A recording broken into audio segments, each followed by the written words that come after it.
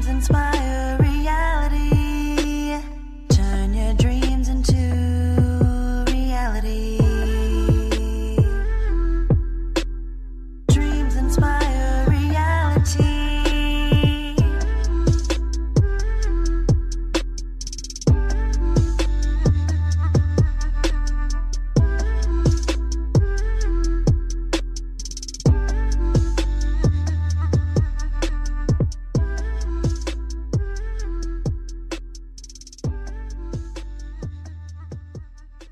Hey, y'all, welcome to the Dreams Inspire Reality podcast. My name is Tara Darnley, and I'm your host today. We have a special announcement, so get ready. This one is probably the biggest announcement yet. Are you ready? Drumroll, I've decided to launch. Are you ready for it? Are you ready for it? DIR is launching our very first app. Yay! we are launching our very first app. I'm super excited because as we grow, I want to create a community that we can have a safe haven to go to, a safe place to go to, to connect and learn from each other and just continue to be dope together. And so as our Facebook community grew, and I'm like, you know, I always go back to like, what are you really building, right? What is a purpose? And I just felt that, you know, the especially with the example a few weeks back where Facebook kind of shut down um, and people were panicking, it just goes back to show that we don't own our own anything. And I wanted to own my own platform, my own community, where I can engage with you guys how I want to on my own terms and you guys can really get to see more more amazing things from Dreams Inspire Reality. And I'm gonna take tell you guys why this was important for me and just take you back a little bit on even Dreams Inspire Reality, like why it was so important to launch, right? When I started my entrepreneurship journey, um, I know I've talked about a little bit where there really wasn't a lot of resources as there is today. And that was just five, six years ago. There really wasn't a lot of resources as it is today. Um, from Brooklyn, you know, from the hood, and the little bit of resources they gave us in terms of like your local SBA or anything that has to do with entrepreneurship, it really um, how to put it because it's just changed now today but i don't want to down any organization but it just it wasn't there right? It wasn't there. I remember reaching out to an organization that was supposed to be helpful for entrepreneurs and i reached out to them the first time. Someone did pick up the phone and they were like you know we're going to call you back. We're going to match you with someone. We're going to call you back for the information. And my question at, at the time was how did i form a business? Like should I go to LLC? How did I figure that out? And they told me they were going to call me back, and I never got a call back. And I left another message, and I left it at there. I left it at that. And then I went on to use Google, find found some videos, um, did some research because at the time, like we were bootstrapping, couldn't afford a lawyer to help us figure those things out. Um, and so we went to Google, went to YouTube, and figured out. Like, okay, LLC was the best bet to go with at the time that fit our business. And we went with that. And three years later, three years later, and I'm not exaggerating, three years later, I got a call from this organization and the call threw me off guard because I'm like, who is this? And I'm like, yes, this is me. And they're like, oh, okay, I'm returning your call. Um, I'm returning your call. This is such and such. I'm returning your call. And, you know, did you still need assistance? Um, and I was like, I'm like, huh? Because it was just like, it was just like, whoa, like three years later. And I was like, are you serious? I said, do you have a timestamp on that? Like, the messages that you're retrieving? And she said, Well, I just got here. I'm just doing my job. and I just saw the message and I'm just I'm just doing my job. Mm-hmm. And I was like, wow, that was three years ago. And I was like, I was like, wow, because I've we've had ideas before and they were never executed, but I just thought about who who else experienced that that slept on their dream for three years four years, five years, whatever. Like, how many times do we allow people to put pauses on our dreams or put our dreams on hold? And that just really crushed me. It just brought back because I forgot about them. I forgot that I left that message because I really wanted to do the work and I really did the work to get the product on the market. But it just brought back so many memories in terms of like starting up and not having any resources. And I was just like, wow, like how many other people call? Like all the people that she's calling back now, how many of them didn't push through because they just stopped at that one no, that one person that didn't answer them, that one resource that didn't provide them any value? How many people stopped there?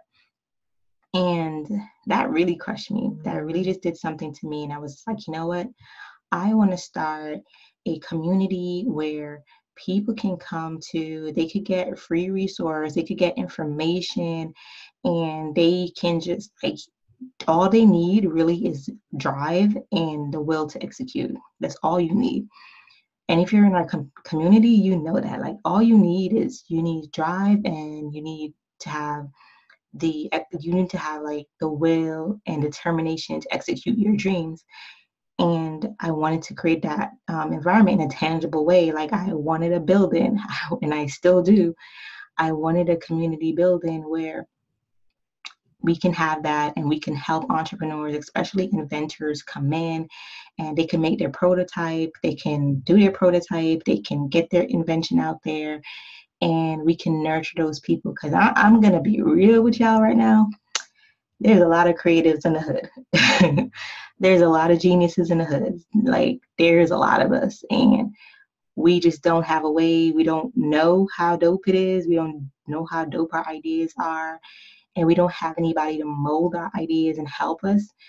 And without pushing us over or getting knocked off or doing all these horrible things. And because we almost we almost got there if we weren't like using our brains. Like we had people quote us some insane numbers to help us get to market or you can't do it um, you can't do it outside of the us and all those naysayers like we had those. And so when she gave me that call like i just thought about all those people and i said i want to come i want to create a community like that. And then as time grew a year after I, I bought when i said that i bought the domain for dreams inspire reality and then a year later, which was last, not last year, yeah, 2018. Um, so 2017, I bought the domain from 2017 and I sat, sat on it for a year. And then because I had Darling and Co. and like all these other things going and two babies, I was like, ugh, I was gonna start a blog just to like get free content. And then a friend told me about um, podcasting. And she was like, Why don't you podcast? You're good at talking. Just do a podcast and deliver your content that way and grow your podcast and do it that way. And I was like, oh, that's that's dope. Like I don't have to write. Yes, I just talk. and so I started. That's when uh, 2018. I was like, I'm going to start my podcast. I'm not going to delay on it no more. I have the domain. It's a dope name. Like everybody literally always says, dreams inspire reality or turn your dreams into reality. Um, so first thing I did was trademark that joint.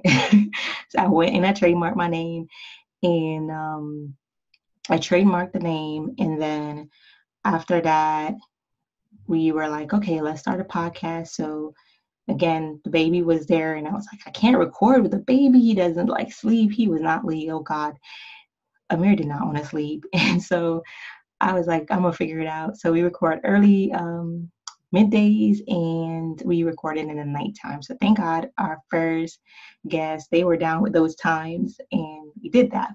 We did it, we did, we worked through it, we, we did the episodes, we did a year worth of content for the first year. So I was like, yes, it's amazing. And I invested a lot into starting the podcast. I invested a lot into, you know, my editor, into somebody actually walking me through starting it. Of course, it's really easy nowadays, but at that time I didn't like have the time to figure it out. And I was like, let me pay somebody to do it. And I paid someone to do it, um, a hefty amount. They helped me do it. And right before we were actually supposed to launch, that person just disappeared. They bailed out, they disappeared. And so I had to figure it out on my own. And I was just like, oh my God, like this is insane. And I just figured it out, got an editor, had to pay her every um, every week to put the content out there. I did my first year, no sponsorship. I didn't ask for sponsorship. I didn't even ask for donation. And some of my listeners actually emailed me and said, "Oh, you know, you could put up like a link for donations and stuff like that." And I just didn't have the time to even put that up. And so the first year, it was like there was no monetary goal with DIR podcast. I was just like pouring in, having my friends come on, interviewing them with the hope of whoever is listening will get the content, receive it, and go out and execute. Because I always met people and they were like, "Oh, can you be my mentor?" And I'm like, "I I can't." So I'll create something that will do it on a larger scale. Like I can mentor everyone with whatever resource I have, um, and everyone can just listen and take away from it and take what you need to take. And that's what I did. And so today, a year later, I'm able to get sponsorship um, for like booking me for a whole month and things like that. So when you do the work, you know, people will see that and they will applaud it and they'll want to be a part of it. Um, our downloads keep growing and all those amazing things. And so when the opportunity for me to build the app came, I jumped on it. I was like, okay, I want to really preserve my community that I have. I want to give them an, an amazing experience with DIR to be able to come in so it's like so many dope stuff, guys. like I can't reveal everything, but you'll be able to listen to the podcast from the app. You'll be able to listen to blog. You'll be able to read blog posts from the app. You'll be able to read, um, see exclusive video content that will be created just for you on the app. You'll be able to watch our courses on the app. So we'll create amazing courses based on what you want on the app you'll be able to purchase from some of my amazing clients that are on Amazon exclusively on the app. So my clients will be listed on the app so you can really support um, amazing black home businesses on Amazon if most of you guys already shop there already. So you could go exclusively to support them. Uh, what else? Like I can't give you everything because I gotta leave some surprise. but it's gonna be dope. If you know me, you know I only do dope, and so it's gonna be amazing. I'm excited for it. Um, I'm just excited to have something that you somewhere, some a place that you could physically open on your phone because you're on your phone 24/7 anyway, and you can access our content. You can access our resource, and this I hope is inspiration to anyone that has a dream and you're like, well, it's not where I want it to be yet, or this is not exactly where I want my dream to be, or this is not the plan I have that I want to be executed. Like you can execute your dreams in levels, and this is a level to the bigger goal that I have of having a facility one day. This is just a start, this is just a part of it. And everyone is virtual anyway these days. And so I think this is a great way for me to facilitate this and have somewhere where everyone can come and just be a part of our community from the palms of their hand. And, you know, when God is ready to make that dream a reality for a facility where people can actually come in and I want to like I want this facility all over the world. Um, I'm saying here first, exclusive. Let's timestamp this.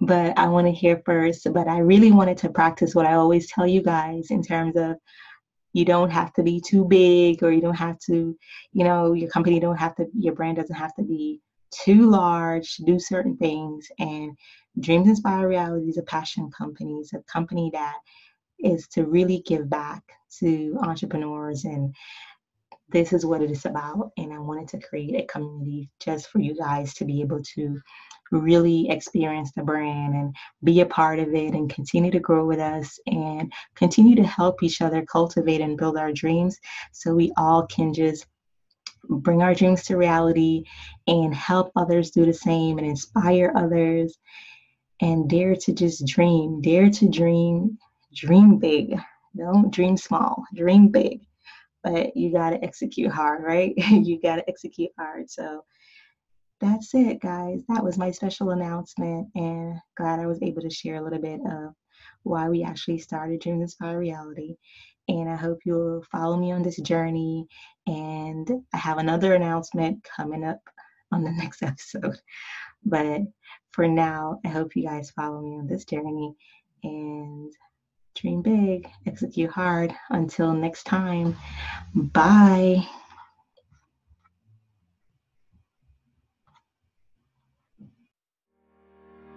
Are you looking to diversify your sales channels? Well, look no further. Dreams Inspire Reality Consulting can help you from step to step to launch and grow your brand on Amazon, Walmart, and eBay, the top e commerce platforms in the world. Your ideal customers are searching for you everywhere but your website. Stop making it hard for them. Let us help you diversify your sales channels. Visit us at www.dreamsinspirereality.com to schedule a consultation.